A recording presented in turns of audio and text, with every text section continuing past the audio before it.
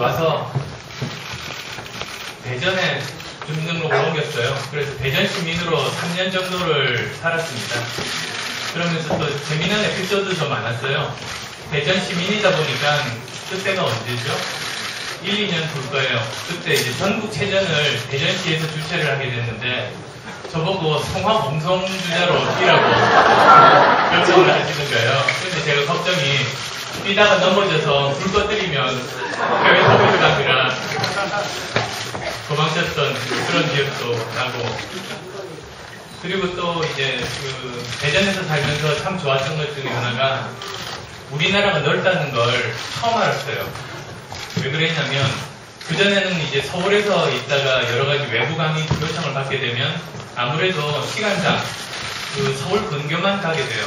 그래서 저한테는 우리나라가 서울을 중심으로 뭐 반경 얼마 안 되는 거기가 우리나라였던 그런 셈인데 처음 대전에 온 다음에는 여러 가지 그 외부 강의 요청들이 많았는데 공주까지도 30분 또 전주까지도 1시간 대구도 KTX 타면 1시간 이내 50분 그러니까 그 어디든지 다닐 수가 있는 거예요. 그 그래서 그 오늘 이제 말씀드릴 내용들을 이렇게 준비를 하다가 우연히 또 이게 언제죠?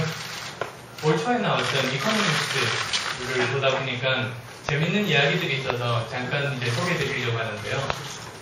그 산업혁명 있잖아요. 1차 산업혁명 18세기 말에 영국에서 이제 그 기계들을 사용하면서 그 산업혁명이 진행이 되고 2차 산업혁명은 20세기 초 미국에서 포드 자동차를 비롯해서 그 대량 생산, mass production으로 이제 진행이 되게 됐는데요. 이제 3차 산업혁명에 대한 이야기들을 하고 있어요. 아마 대표적인 사람이 제레미 리프킨 같은 분이 그 책으로 냈었죠.